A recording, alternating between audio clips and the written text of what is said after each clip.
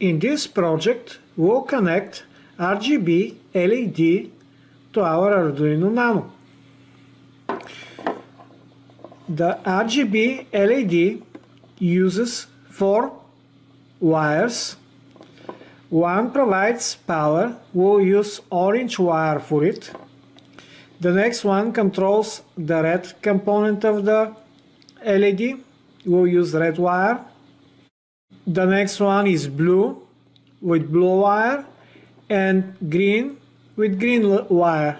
You can see the R, B and G labels on the module and the V label for power.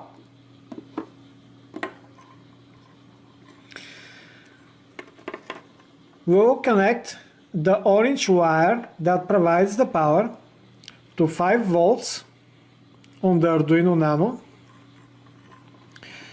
The red wire is connected to digital pin 3 which has pulse width modulation. The blue wire is connected to digital pin 5 which also has pulse width modulation.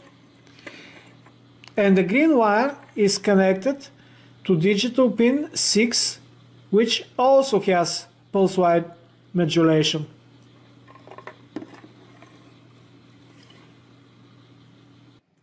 We will start with new Visuino project, select board,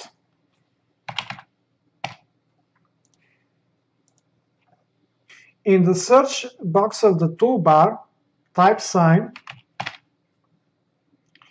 select sine analog generator and add three of them to the design area.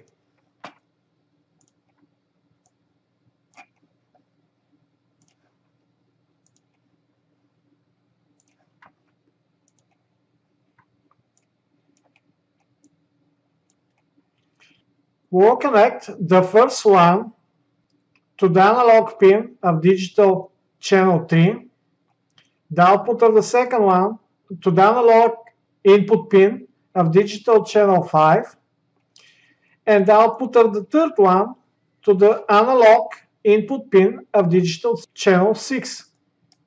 We'll select the second one and set a frequency of 0.3. Select the third one and set a frequency of 0.1. This will make the three generators have different frequencies and cycle through all possible values over time. Generate the Arduino code.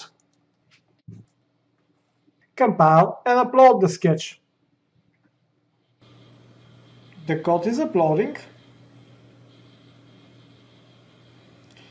And now you can see the LED changing its color over time, cycling through all possible color combinations.